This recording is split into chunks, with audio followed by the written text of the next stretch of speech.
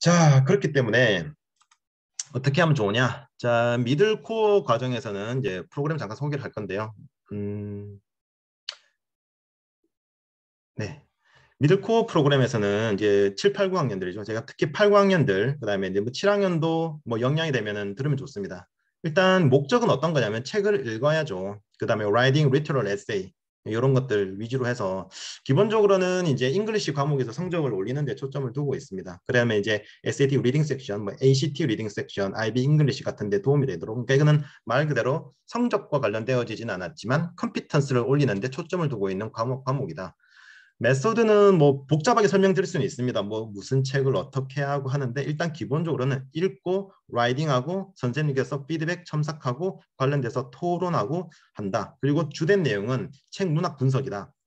문학 분석이다. 이건 어떤 거냐면 뭐 또 하니까 또 차이가 있습니다. 어떤 데는 가니까 뭐책 읽고 너의 감상문을 써라 이렇게 이야기를 하는데 그거는 이제 creative essay라고 합니다. 그러니까 이제 해당되는 토픽을 가지고 학생이 자기가 느낀 바를 쓰는 reflection paper를 쓰게 한 곳이 있습니다. 그런 프로그램들을 하는 데가 있는데 저희는 그건 하진 않습니다. 저희는 그거는 아니고 철저하게 문학책에서 나와 있는 예를 들어서 어떤 환경이나 혹은 인물 캐릭터 분석, 수사법적으로 분석하는 것들, 문학 기법으로 분석하는 것들 이런 것들을 하게 됩니다. 그래서 여기에 보시면은 purpose에서 writing literal essay라고 제가 적은 거예요. 그래서 이거는 혹시라도 뭐 내 아이가 뭐 재밌게 상상력을 펼치는 이런 어떤 수업을 희망하신다 그러면 이 수업은 아닙니다. 이 수업은 아니고 어, 리터러처에서 내가 좀 전문적으로 이렇게 어, 에세이 쓰는 것들이라든지 혹은 이제 그 문학 작품 분석하는 걸 좀 배우고 싶다. 그럼 이쪽으로 들어오시면 좋을 것 같고 그리고 내 아이가 책을 잘 안 읽어. 그리고 책을 읽는 걸 좀 어려워해. 학생들도 이쪽으로 들어오시는 것을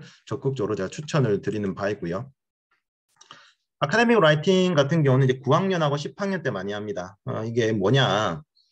음, Literature 클 아, 아까 제가 Literature 수업하고는 좀 다릅니다. 이거는 이제 10학년, 11학년 Diploma를 들어가거나 Honors 과정이나 AP 과정을 들어가게 되면은 선생님들이 교과목마다 막 에세이 쓰라고 해요. 에세이. 그, 근데 그 에세이가 뭐 그냥 뭐 내 개인 소감 감상문을 적는 게 아니라 여러분들 그 혹시 그 대학 단위 어 대학이나 뭐 논문 같은 거 보시면은 막 이게 뭐 과학 그 lab report 쓰는 거 있죠. 그 다음에 뭐 social science 같은 경우도 자료 search해가지고 뭐 연구 계획 세우고 연구 목적, 목표, 연구 question 질문 세우고 research question 하고 막 이렇게 쓰는 게 있거든요.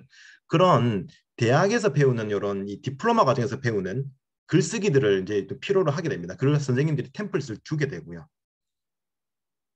그렇기 때문에 이 과정에서는 Academic Writing에서는 lab report라든지 에세이, 그러니까 뭐 문학, 사회과학, 자연과학, 수학, 각각의 과목들이 글을 작성하는 과제를 제출했을 때 각각의 작성하는 방식과 스타일이 다 다르다는 거예요. 형식이.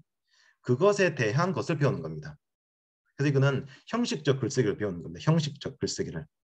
그렇기 때문에 이 Academic Writing을 한다고 해서 뭐 reading이 늘 성적이 느느냐, 그러니까 실력이 느느냐, 그거하고는 관련이 없습니다. 관련이 약간은 있을 수는 있는데 그것보다는 학생들이 Diploma를 들어가기 전에 Honors 과정을 들어가기 전에 AP 과정을 들어가기 전에 내 아이가 리포트 좀 잘 작성해야 돼. 그런 것들에 대해서 형식의 틀을 배우는 곳이다. 라고 생각하시면 좋을 것 같고 그렇기 때문에 9학년, 10학년 때 특히 10학년 때 좀 많이 듣는 좀 문의를 하시더라고요. 그래서 요 Academic Writing 그렇게 진행이 되는 거니까 관심 있으신 분 이걸 신청해 주시면 될 것 같고요. Algebra 2는 이제 통합 과정에도 제가 적어놨는데 이 Algebra 2 같은 경우는 Algebra 2하고 Geometry하고 Trigonometry 세 개를 묶었습니다. 이게 내용이 뭐 좀 많지는 않거든요. Algebra 2에서 Algebra 1을 걷어내 버리면은 그러니까 중학교 1학년, 2학년 수학을 걷어내 버리면 실제로 Algebra 2에서 몇 개 안 됩니다. 뭐 2차 방정식, 2차 함수, 고차 함수, 그 다음에 어, 행렬 조금 나오고 뭐 이렇게 막 나오고 순열 수열 기본 개념이 나오기 때문에 어, 3주 정도 저희가 보통 한 3주 15회 과정으로 이제 진행을 하게 됐는데 그러면 Algebra 2하고 Geometry하고 Trigonometry를 한꺼번에 다 정리를 할 수가 있어요.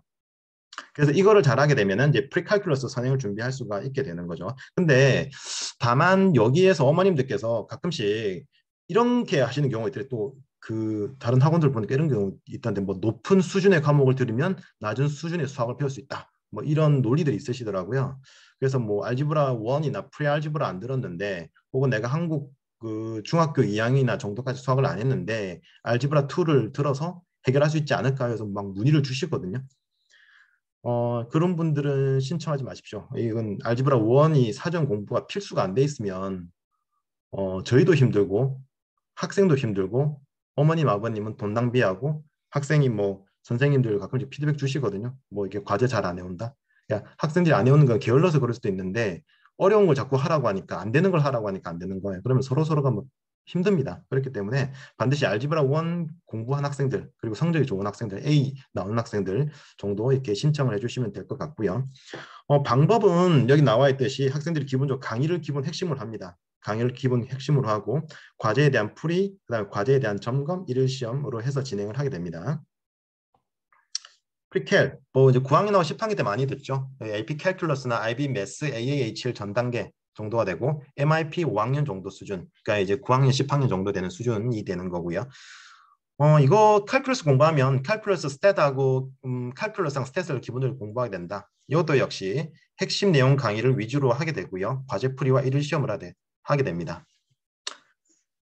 됐고요. 사이언스는 어, 뭐 9학년부터 10학년 내지 뭐 8, 9, 10 내지 7 학생이 좀 실력이 되면은 7학년부터 들는 것도 괜찮기는 한데 조금 어렵습니다. 그래서 권장하는 거는 한 9학년, 10학년 내지 뭐 8학년 좀 빠르면 8학년 정도를 추천을 드리게 되는 거고요. AP나 IB를 과목을 공부하기 위한 기초 공부입니다. 뭐 이거 해가지고 뭐 엄청난 뭔가를 그러니까 뭐 갑자기 내가 뭐 크레딧 따고 이건 좀 힘듭니다. 옛날 같았으면 뭐 SAT Subject Test가 있으면 그걸 보라 이렇게 할 수도 있는데 그게 없어 없, 없어졌기 때문에 일단은 AP하고 IB 과목 기초 공부하는 데 도움이 된다. 그러면 이제 효과로서는 뭐 선행 공부, GP에서 고득점을 받을 수 있는 음, 계기가 되죠. 그리고 또그 실제 결과로도 나오고 어떻게 하느냐 똑같습니다. 핵심 강의, 문제풀이, 일일 시험, 과제 전부 다 선생님께서 직접 다 진행을 하시는 거고요. 근데 이제 바이오를 들을까요? 캠을 들을까요? 아, 뭐 매스를 들을까요? 피직스를 들을까요? 이거 헷갈리시는 분이 있으신데 순서는 되게 간단합니다. 어, Bio를 먼저 들으시고 Chem을 들으시면 됩니다. Chem 듣고 바이오 들으면 안 되나요? 음, 그렇게 할 수는 있는데 조금은 어려울 수도 있습니다. 그래서 뭐 Bio를 먼저 들으시고 Chem을 듣는 것을 추천을 드리고요. Physics 같은 경우는 Regular Physics나 Honors 요 저희 과제에 어, 열어놓은 그러니까 어, 이 Physics 같은 과정은 Algebra 2 정도가 되어 있지 않으면은 조금 어렵습니다. 그래서 이제 Algebra 2를 듣고 나서 Physics를 들으시면 된다. 그럼 이제 조합을 생각해 보시는 거는 Algebra 2와 Bio를 들으면 되겠네요. 네, 그렇게 들으시면 되, 됩니다. 그리고 만약에 내가 작년에 Algebra 2를 들었으니까 Pre-Cal을 들어도 될까요? 네, 들으시면 됩니다. Pre-Cal 듣고 Physics 듣고 괜찮습니다. 그렇게 들으시면은 무난하게 공부를 하실 수가 있고요. Middle Core 과정은 저희가 그래서 1년 과정을 이렇게 좀 설계를 해놨어요. 그래서 이제 여름 방학 때 15회 특강으로 진행하고 그 다음에 만약에 내가 이때 못 들었어. 여름 때 아니면 안 된다 생각하셔가지고 학생들 뭐 들들 볶지 마시고 한 두 개 정도만 학생들 듣게 하시고 나머지 학기 중에는 저희가 이제 주말에 어, 또 이제 12회 과정으로 해가지고 알지브라나 프리칼 과정 동일한 과정을 개설을 하, 할 겁니다. 할 거기 때문에 그때 또 하시면 될 것 같고 이때 또 못 들었어 언제 들으면 됩니까? 아, 겨울 방학 때 들으시면 됩니다. 들으시면 되고요.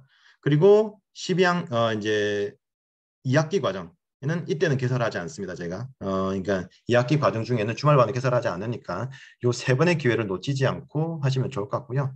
어, 보시면은 Algebra 2 이때 못 들은 거 여름 때 듣고 학기 중 주말 반 때 Pre-Cal 듣고 이렇게 하시면 되겠죠. 그 다음에 바이오 듣고 Chem 듣고 Physics 듣고 이렇게 하시면은 대략적으로 한 세 학기 정도면은 어, high school에 해당되는 전체 과정을 다 끝내실 수가 있습니다. 이렇게 활용하시면 좋을 것 같고 가급적이면은 리럴처 수업 같은 경우는 이렇게 조금 꾸준하게 공부를 해주시는 게 아무래도 좋습니다. 뭐 또 리럴처 하시면서 제가 제일 많이 받는 질문 이거 하면 SAT 성적 올라가니 몇 점 올라가 이 질문하신 분들 계시거든요. 아 그것이 너무 걱정이 되신다 그러면 어, 어 장담하기 힘들지만 경험적으로는 리럴처를 공부를 충분히 한 학생들은 SAT 점수가 잘 나오고 만약 SAT 스코어를 올리는 게 목적이라고 하시면 SAT 수업을 듣는 게 맞습니다. 아카데믹 라이팅은 제가 여름 특강 때만 오픈을 하려고 합니다. 이거는 뭐 겨울 방학 때나 뭐 이거는 뭐 두 번, 세 번 들을 게 아니고 한 번 들으면 그 형식적 틀을 배우는 거기 때문에 한 번만 들으시면 충분합니다.